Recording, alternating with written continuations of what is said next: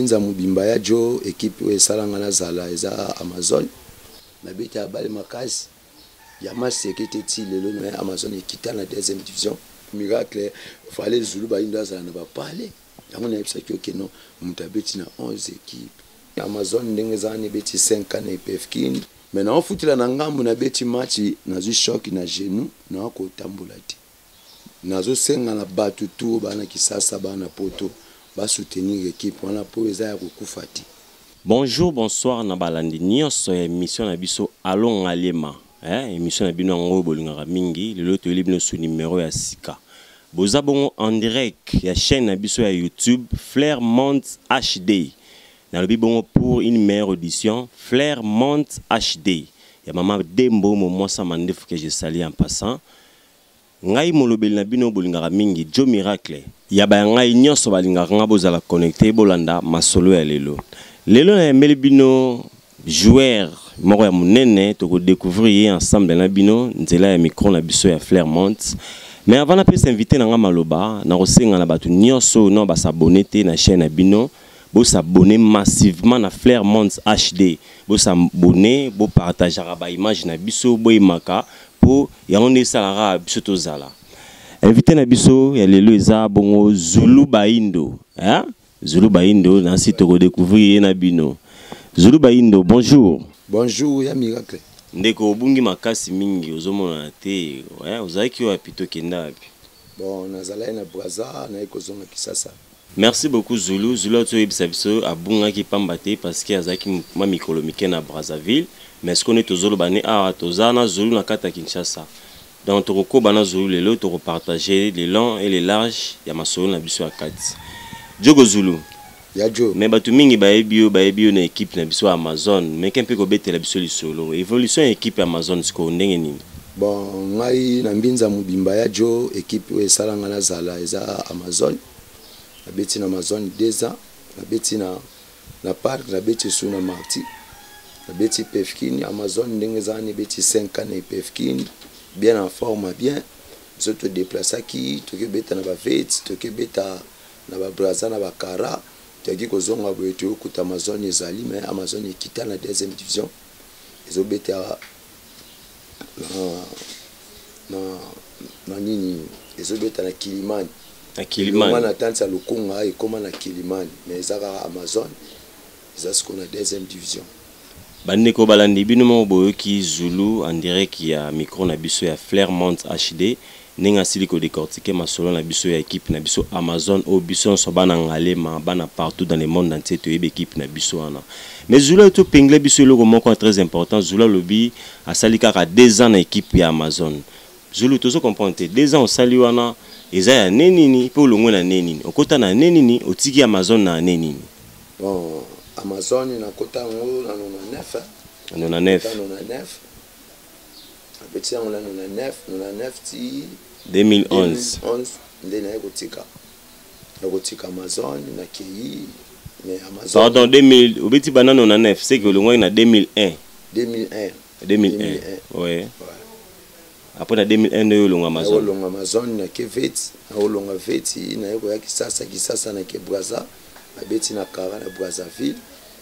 Kuna nde nawumeli mwa ndambo apres naye kozonga awa Kisasa. Amazone mpe ezali moto akotia yango masa na ngai tobetani Jean Kausoko donc nazalaka na bango mpe na baoyo baleki bakoma kobeta wana nazolandela bango mpe evolution mpo ngai mpe na mama osala cour ya kientraineur ngambo napesaka Elvis Elvis Dembo Mwana ma Dembo ana Lubumbashi ngai nde na lati boti na makolo. Elvis Dembo bambote ebele bambote ebele place ozali en direct de Lubumbashi eh Joe Miracle abosani yo te quoi. Ya Joe ya Joe ouais donc tokoma kosala cours ya ki entraîneur tobima lelo ba entraîneur to coacher mpe bana na generation na biso oyo tozaleli donc makambo ya bale mpena toza na yango kaka ti lelo. En tout cas bino moko boyoki Zulu ndenge azo paola kaka tozo koba na ye alobi ke mama bale azo koba na ngo kaka ti lelo ata aza lisusu te na ekipe oyo biso nyonso tosili na koyebela ye oyo eza na kombo ya Amazon alobi atika ngo na maboko ya coach oyo totanga kombo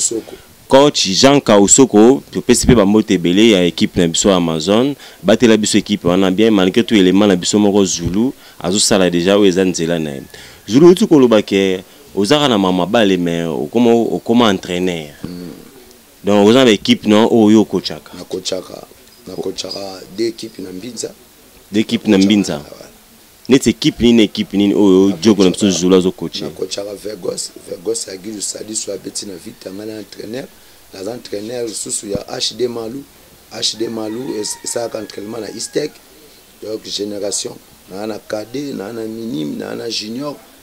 naza na ekipe lisusu ya senior ya deuxième division nazo cadre déjà oyo 5 ans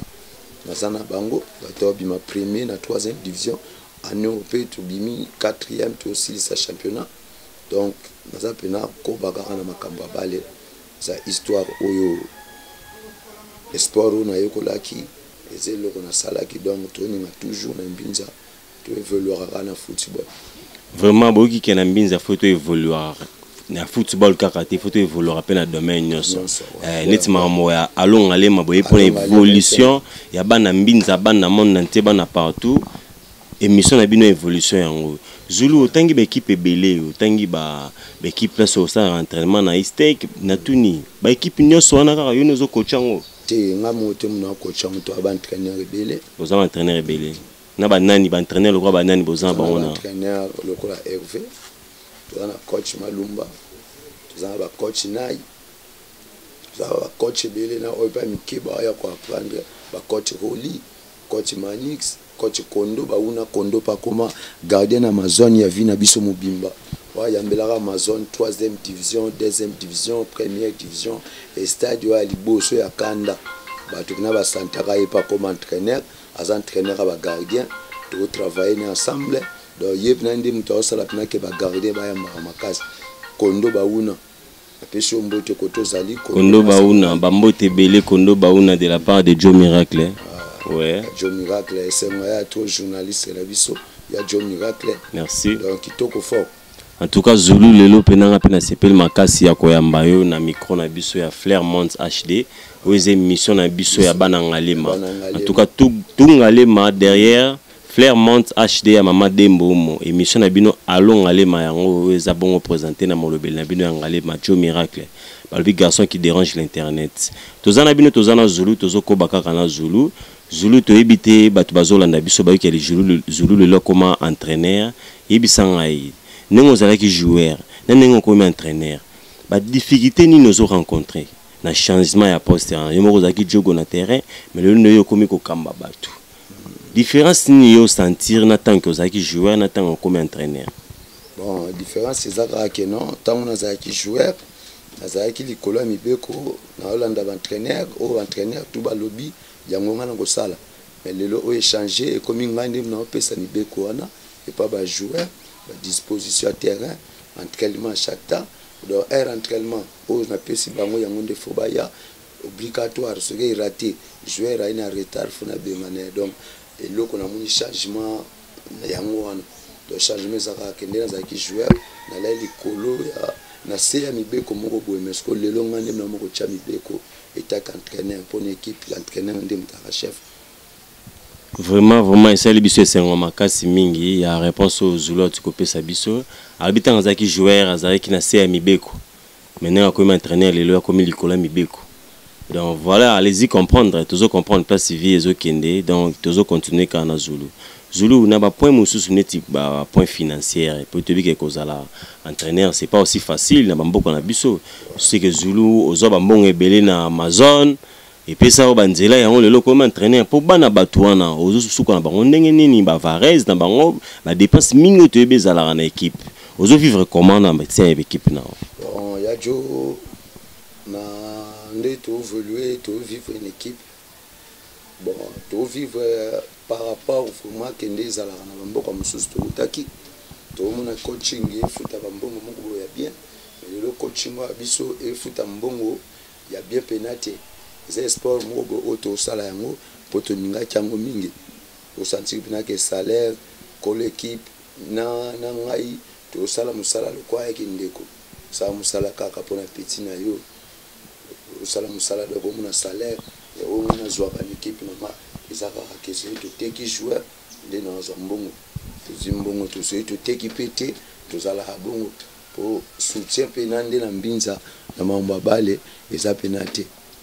eza mpena te donc bajoueur ebele ata lelo nde baomona zulu baindo boye yo oza molobeli kote bato bazali monde entier baokamwa zulu Po Zulu abeti pena balle 24 communes, nabeti na 11 equipes, naza mutu moko soki ezalaki balle moko boye nabeta na ba mboka mipaya mbele naza milliardaire. Vraiment. Po un joueur ake beta na 11 equipes ata ba mindele ba beta ba misusu ba equipes moko, mibale mais nga na tamboli trop na ba equipes. Donc Zulu palmarès na vraiment eza na 11 equipes. Nabeti na makila ba, nabeti na Vetsa Matadi, nabeta na Imana Matadi, nabeta na Ndoki ya Ndombe, nabeta na ba equipes pena ebele ya djo.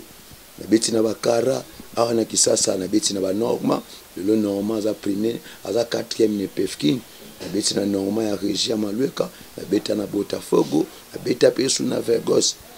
donc nabeti na baekipe ebele nabeti na jamaïque ekipe ya bayebela ye ngai ntango nateki rail ya amazone nabeta na prodi donc nabeti na malaba ekipe wekabwaka pdg malaba ngai nabeta na malaba donc naza joueur nasali nasali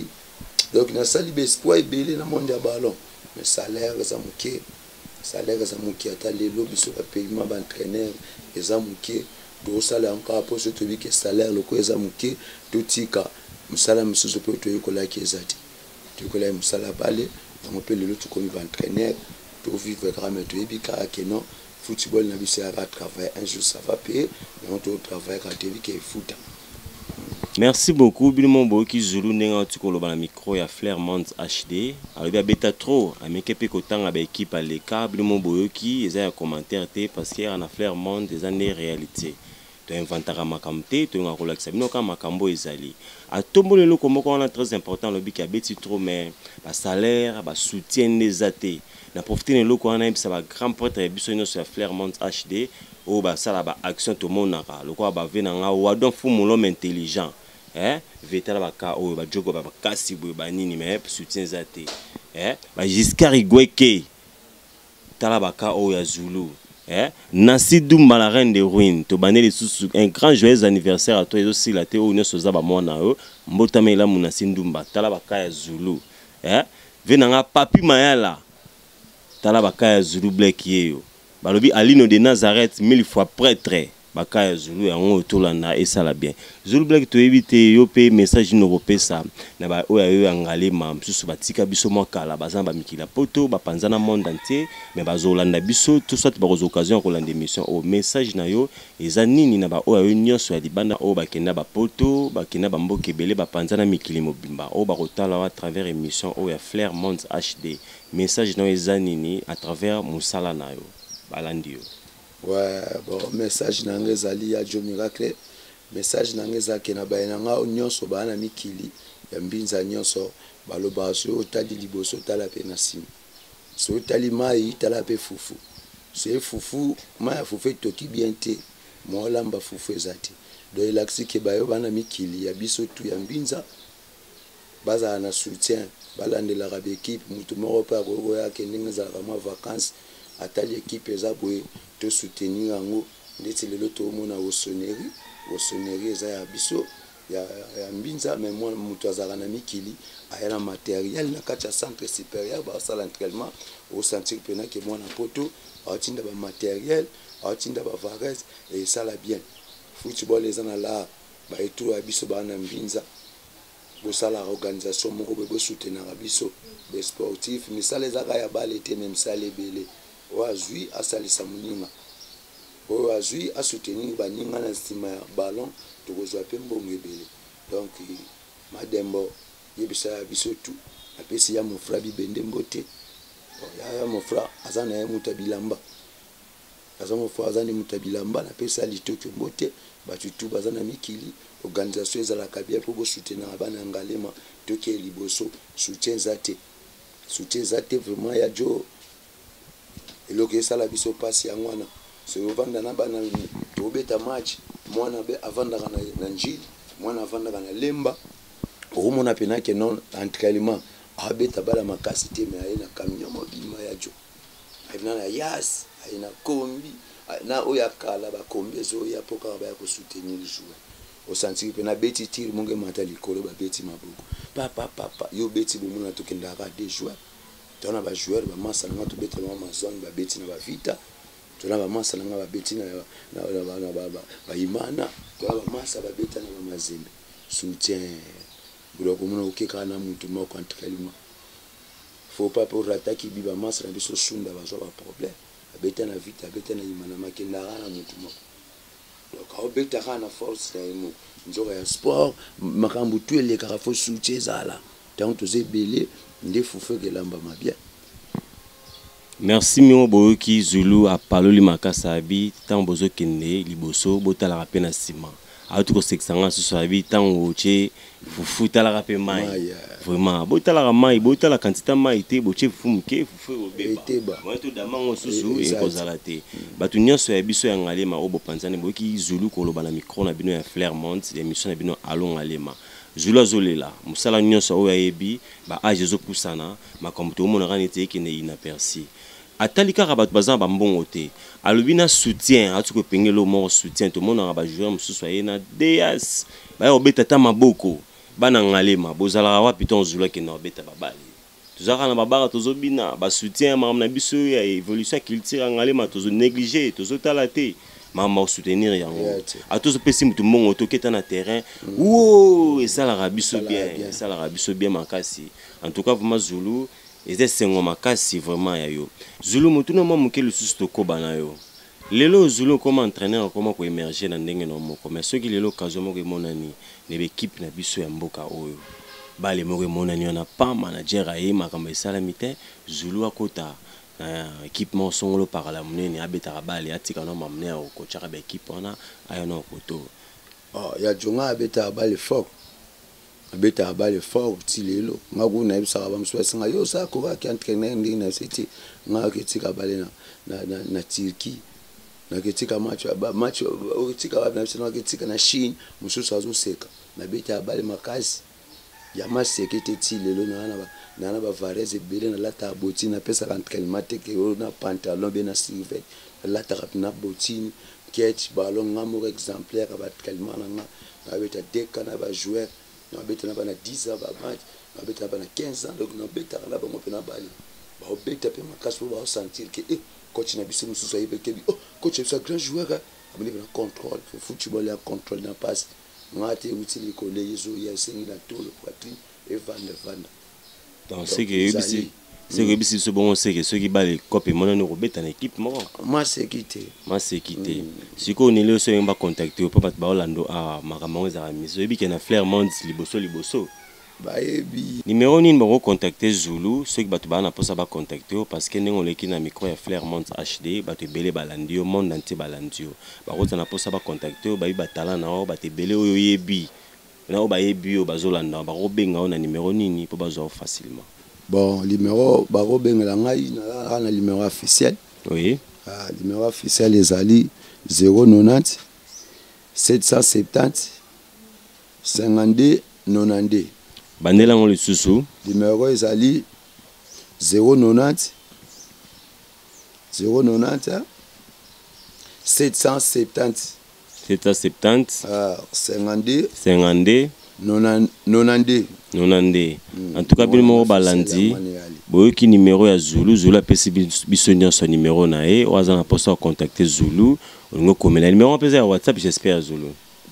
na whatsapp te wana il faut babenga na appel normal po bato ya poto mingi balingaka ba whatsapp po babenga facilement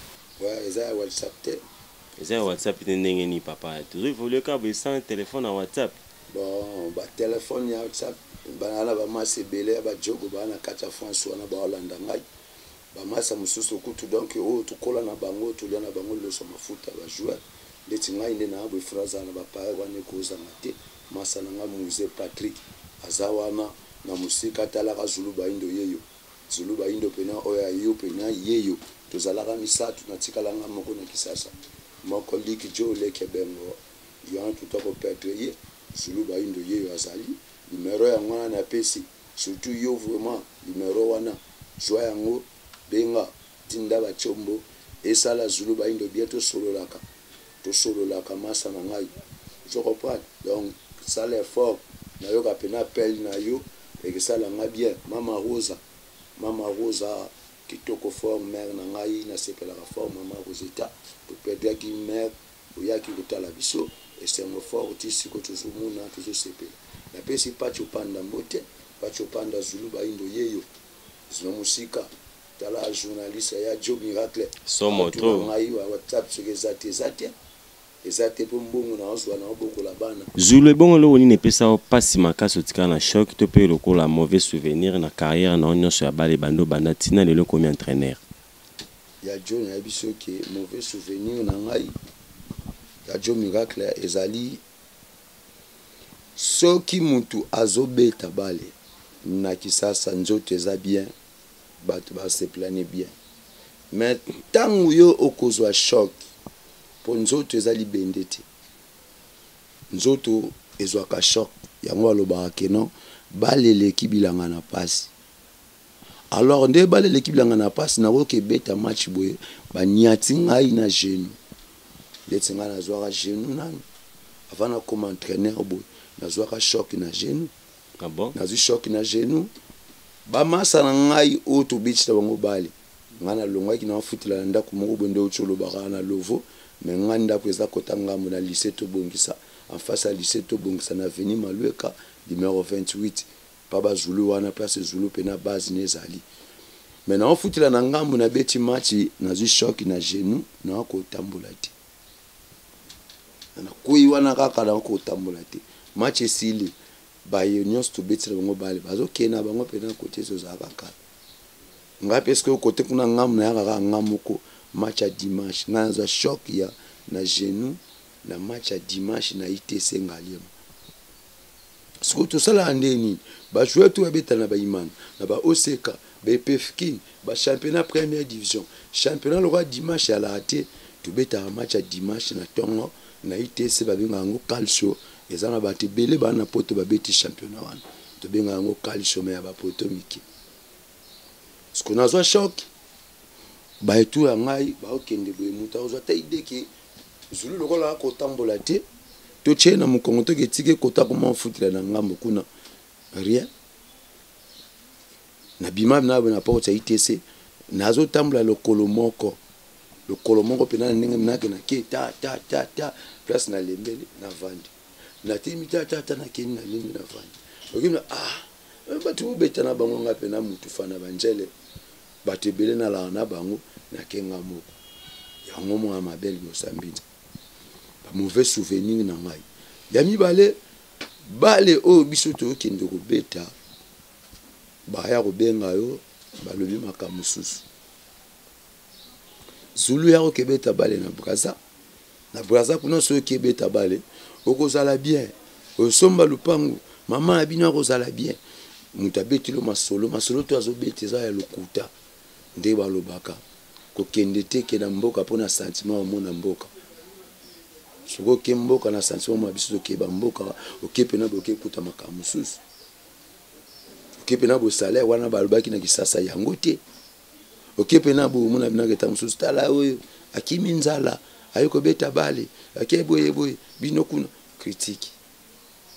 bamauvais souvenir na ngai ya mwana mpo nakeli makambo mosusu nakende mosusu donc ya bamauvais souvenir toye lisusu na kisasa ntango nalongwe na, na, na veti avandaki epoisaville babemngaa ngai na ekipe ya normand Zulu yaka obeta tala condition totieli yo tala boye tala boye na longwa pena matadi na obeta lina foot na obeta coupe du Congo na beta coupe du Congo na beta finale ya ndoki ya ndombe na dessin pe eh, na Lugumbashi na beta bale na na, na, na boma mais equipe moko ekozwa nga ke non yaka abeta apesi mpe mwa mbongo ya bien na ebandeli mbongo ka ya tsumbi likwanga jogo azwi aya boye salaire toyokanaki premier mois apesi deuxième mois apesi troisième mois ye bozwi ndambo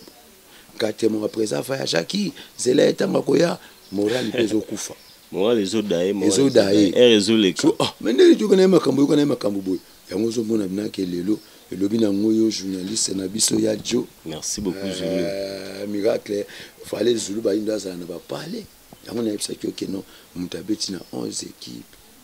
e eh, donc mosusu kutu nde bayoka na mosika baondima te mais oyo bayebi bayebi eh, baekipe na beti pene ebele ta na banda okola lelo nakoma mokolo mpo bazulu akoli Eza kokola te nayebaka balle trop nabanda beta une annee kaka na equipe moko le temps nabandaka balle troisième division nabeti une annee deuxième division nabeti une annee troisième division donc première division nabeti une annee na kene stade nabeta une annee nabeti donc bekipe tout nabeta une annee à part na obeta deux ans na norma nabeti na parc nabeti na pfk mais nyonso nabeti mbongo ya tsumbi dikwanga Dogo sati na mbongo lelo oyo souvenir ya bien eza te. Eza pe nga moko te eza pe soki elamusa ma male akoyebi soki oyo atekamaka lokola creme atekama na bibiloko tout ba mama pouta ebimi ya ba ma male ba chapeau mokolo akufa ye biso tozali na deuil wana baondima te avant pe akufa maladi na ye tout batu baondima te kisi oyo ma male ndenge mpe bato baotuna eske wana zulu vraiment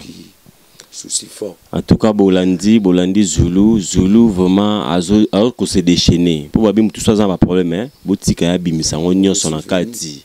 tant totunaki ye ba meilleur souvenir na ye ezalaki te kaka kombo Mm. Mais tala ba mauvais souvenirs ebele. Yenge loba que ça ne va pas. Donc match ezo kende mabe. Mm. tokotika mpe kaka match ekende mabe boye te mpo talent oyo eza na joueur oyo aza pembe na biso zulu bana ngalema lobi zulu akozala mpe flaire na commune na biso nde tobimisa bajogo ya minene zulu mpe aza na baqualité wana bacapacité wana tala bamauvais souvenir ebele mauvais souvenir soki ya liboso atangi eza manke ya bolingo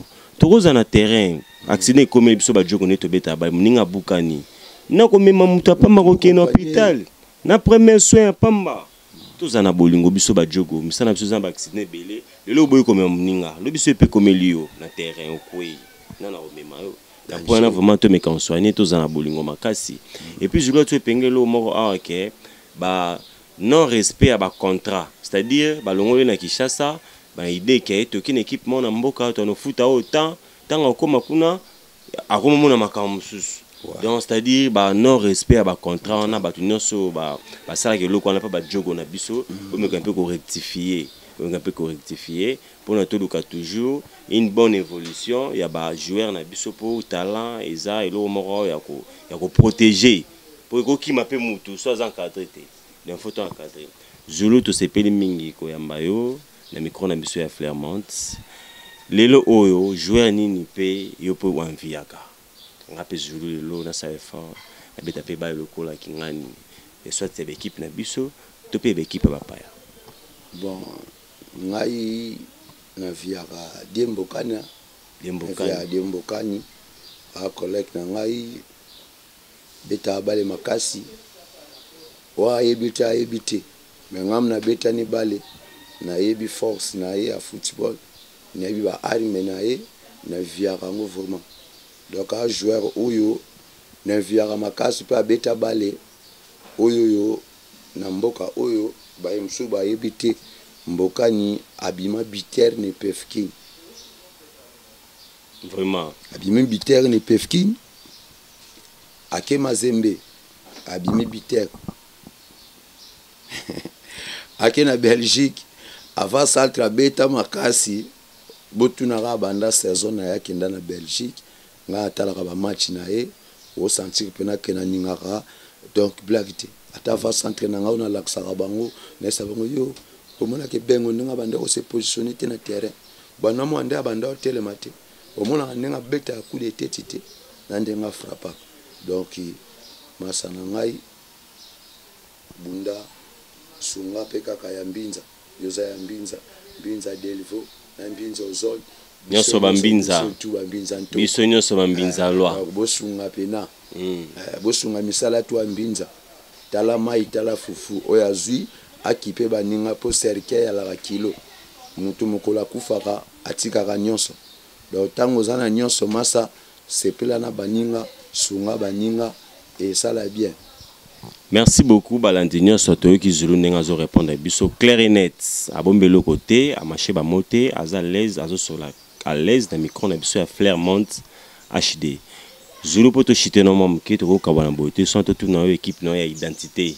Liloba nini okoyebisa na ekipe na yo Amazone, na bato nyonso batikala kuna, na coach oyo azodirige yango sikoyo, na bato nyonso oyo baza zingazinga na yango? Liloba izoni eza nini? Ya Djo, liloba nakoloba ndeti ya suka mpo na Amazone, Amazone ea grande ekipe na Mbinza. Nazosenga na bato tout, baa na Kisasa, baa na Poto, ba soutenir ekipe wana mpo eza ya kokufa te. Amazone eza na deuxième division, baobeta na Kilimani. Ezali ndenge tomatisaka yango ndenge pe tokomatisa yango lelo donc soutien ezala makasi mutu aza nani ba coach tofu azali aboyaka ne pe mutu te mutu aye na soutien baboyaka ye te na via football biso tolukaka batu ya soutien equipe ya amazone ezali botombola yango emata lisusu eke liboso po eza equipe oyo eyebani 24 commune ekoki kokufa bongo te ezali soutien ezala tomatisa yango lisusu kaka ndenge tomataki vie ya bale eza ekiti lelo lobi ekemata fouter akomaka maire maire akomaka fouter donc nde ekipe ekiti soki soutien makasi eye tokomatisa yango lisusu ezala bien merci beaucoup boyoki donc tozozonga kaka na soutien tozozonga kaka na soutien donc en tout cas nde soutien nde makambo bosoutenir volonté voilà aza na yango azobomba aza te Tolingi batu oyo baza na mbongo bazo sala soutien. Soutien ezala po equipe ezali. Entrainement ezo salama ndenge ba entraineur tout bazali. Ba entraineur bazali. Boya na soutien, boya pena na soutien. Soutien eza oyo ya mukie, oyo aza na mua ebele tangu bo sangisi yango nde esalaka comite. Donc comite ya football eyalaka mutu moko te. Mosapi moko. esokolaka misu te na balle esengaka bozala 100 bozala 200 bozala 50 nde bo soutenir equipe po ekeye liboso. En tout cas bayoki yo po na micro ya Flair monts HD ya mama Dembo momuasa mandefu erataka te aah vraiment erataka te na sur Zulu azo telema kaka point moko ya soutien asengi soutien pona equipe naye Amazone malgre tout bakiti mua niveau par rapport ya ba Zulu nde batikela yango mais bakokita ba niveau nyonso wana ezaka ba manque ya bamama ebele tozozangazanga bosoutenir ekipe ya bino amazon bana nyonso ya ngalema boza parci par là ekipe na bino amazon ekufa te eza en bonne diforme na mini tozokamba na coach nani coach jean kausoko coach jean kausoko kamba ekipe malamu oyo eza ekipe na biso ya ngalema donc tokotika yango ekende inaperci te zulu asengi kaka soutien mpo na